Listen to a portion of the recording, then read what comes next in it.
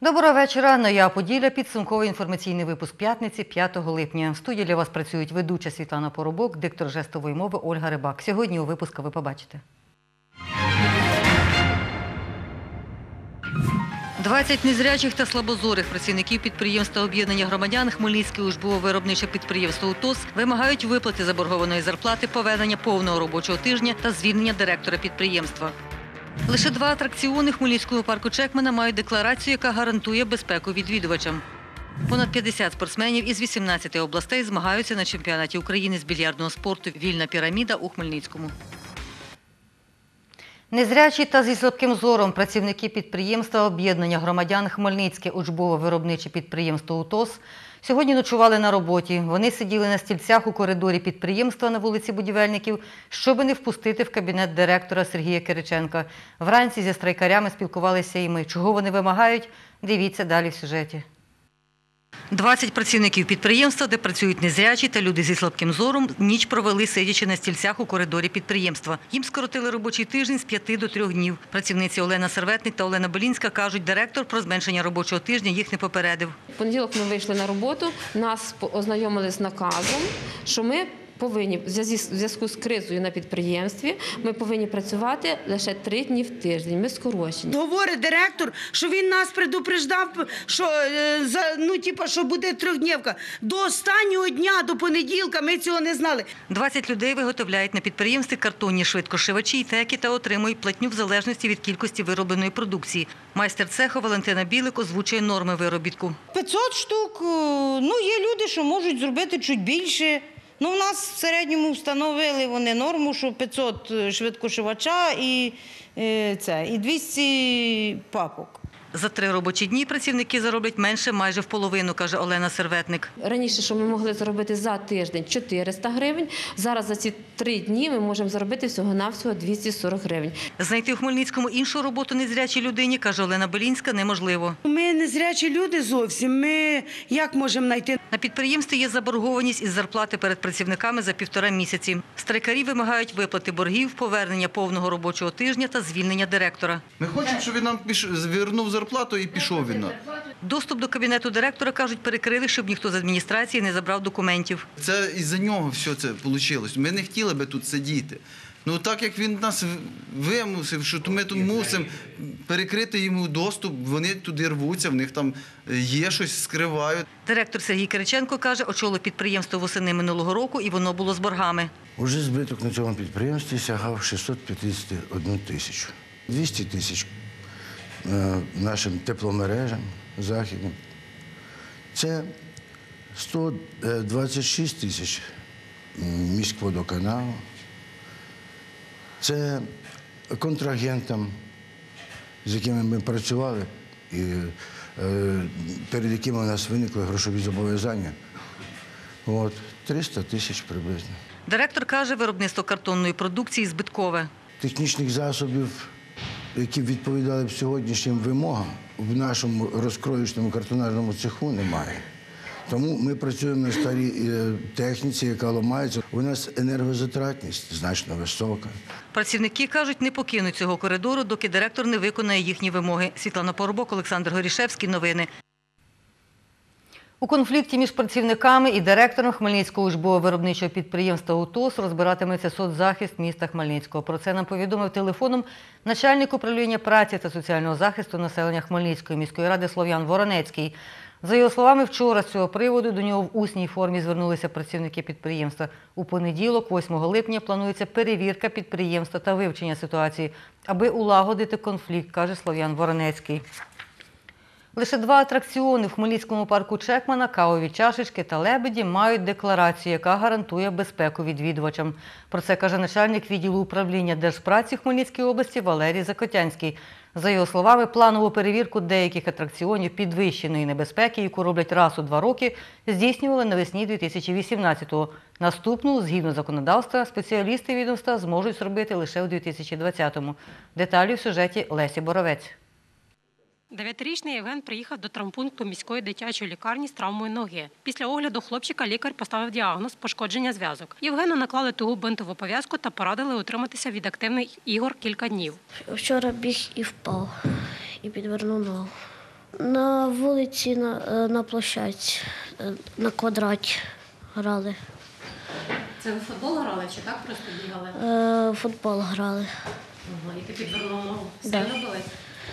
Зараз ні, а вчора було сильно боліло. Влітку під час канікул зростає кількість маленьких пацієнтів у травмпунктах. Травмуються найчастіше на дитячих майданчиках та атракціонах, каже завідуючий травмпунктом дитячої міської лікарні Віктор Стельмах. В середньому за рік таких звернень близько 200. Діти в різних е, закладах, в різних місцях отримують травми е, різного характеру. Переважна більшість це травми, скажімо так, легкі, середньої важкості, як забої, пошкодження зв'язок, але значна частка. Біля 25% це і діти з переломами сегментів кінцівок.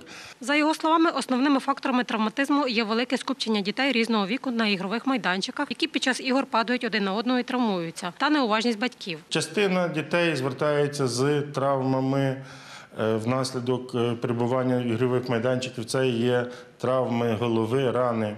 Е, Такі травми виникають внаслідок ударів об тверді предмети при падінні, як з власного росту, так і в падінні з атракціонів.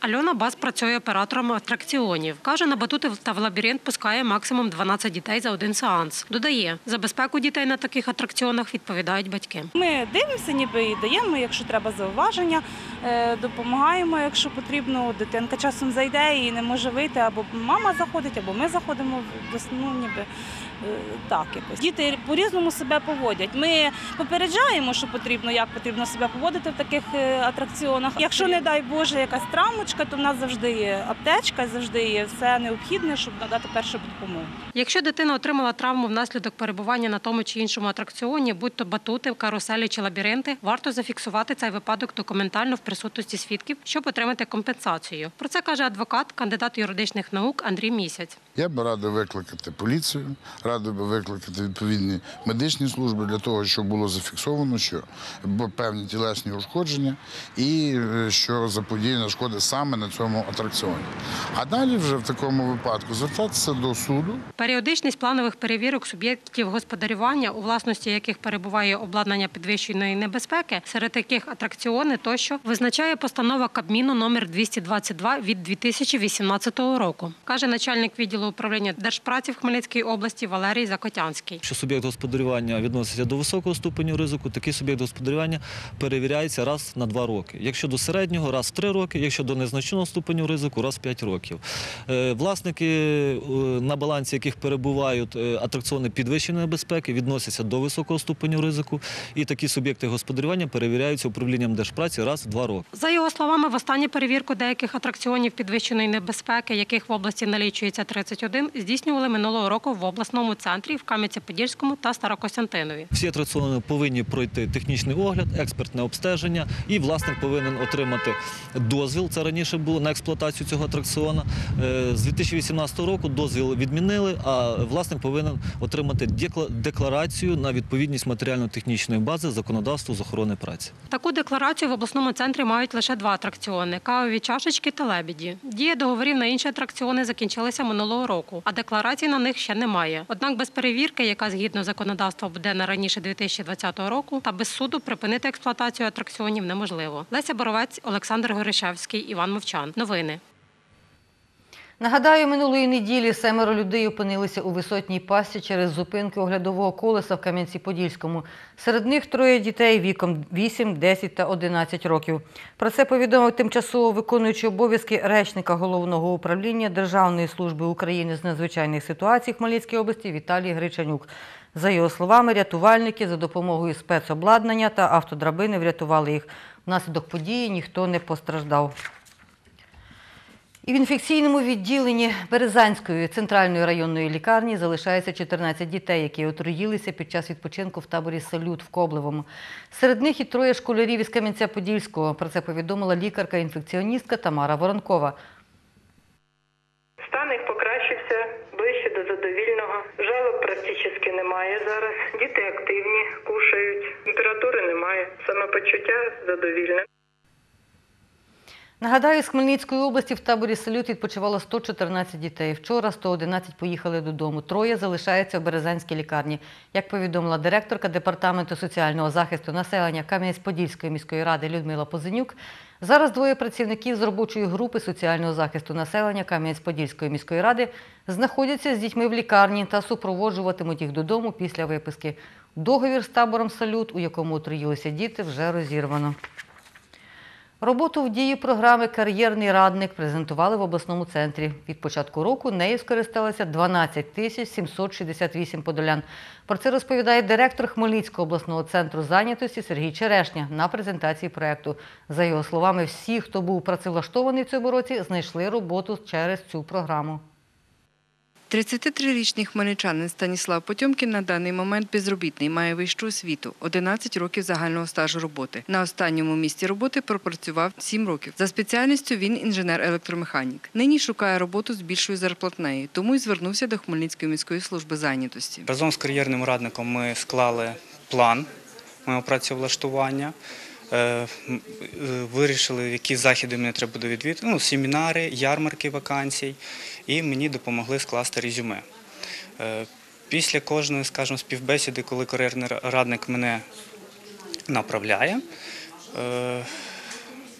ми з ним обговорюємо, як пройшла моя співбесіда, я коротко розказую. і Він вносить корективи, ну тобто він мені допомагає.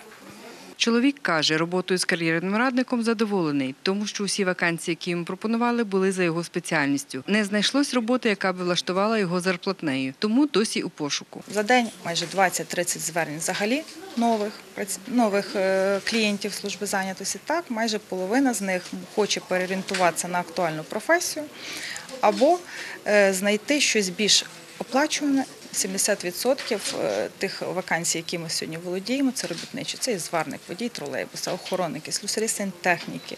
Ну, звичайно, є низькокваліфіковані професії, такі як двірники, які наш е, ринок праці дуже потребує. Важче знайти роботу людям, які мають одну і більше вищих освіт. Вони вже мають е, свої уявлення про те, яку роботу вони шукають, та, а потребують свого рівня заробітної плати не менше, ніж та, яку вони отримали за попереднім місцем роботи. Тому їм значно важче, тому що на сьогодні економістів, юристів набагато менше, ніж зварників, охоронників, слюсарів, сантехніків. І їхня зарплата набагато нижча, ніж у робітничих професіях. Програма Кар'єрний радник у службі зайнятості працює з початку року. вони набагато якісніше в плані індивідуального підходу до клієнта. Ми враховуємо всі можливі та, е, ризики, щоб допомогти клієнту зорієнтуватися на нашому ринку праці. Також ми можемо і володіємо ринком праці по всій Україні. Тому так само розробляємо для кожного свій план працевлаштування. Тетяна Ворожцова, Юрій Чорний. Новини. Понад 50 спортсменів із 18 областей змагаються на триденному чемпіонаті України з більярдного спорту Вільна піраміда у Хмельницькому. Це юнаки, дівчата та юніори, спортсмени віком до 18 років. За результатами цих національних змагань формуватимуть збірну України для участі в чемпіонаті світу, який відбудеться в серпні в столиці Білорусі. Троє із 51 учасника на відкритті отримують посвідчення про присвоєння спортивних розрядів і звань. Шепетівському 10-річному спортсмену Михайлу Ларкову присвоїли звання кандидата в майстри спорту. Хлопець в цьому році змагався на чемпіонаті області з дорослими чоловіками та перемагав. У мене було сім суперників, вони були дорослі, я в них виграв. Голова Хмельницької обласної федерації більярдного спорту Ігор Мартинюк повідомив, серед учасників найсильніші більярдисти України. Нашу область представляють шестеро. Крім Михайла Ларкова, це спортсмени з Хмельницького, Кам'янця-Подільського і Старокостянтинова, як Артем Харченко, минулорічний бронзовий призер чемпіонату України. Всі досить досвідчені гравці, е, чудові гравці. Е, Скажімо, очікуємо побачити дуже цікаву і, скажімо, неупереджену гру. Наприклад, Артем Харченко теж в нас досвідчений спортсмен. Він е, почав ще займатися шести років, ще папа його садив на білярдний стіл, бо він не доставав. І він, е, як кажуть, по тим кулькам бив. І от дивіться, вже е, хлопчику е, на даний час 16 років, 10 років він вже грає цей більярд. Учасники грають у вільну піраміду, яка в народі зветься американкою. На столі 16 куль. Коли один із гравців забиває 8 із них першим, перемагає. Старокостянтинівський спортсмен Артем Харченко каже, любить вільну піраміду. Результат цієї гри ти ніколи не можеш передбачити. Тому що завжди в один момент все може з ніг до голови змінитися. І перевага суперника одного над одним Е, Ця гра дуже цікава тим, що в ній є багато можливостей.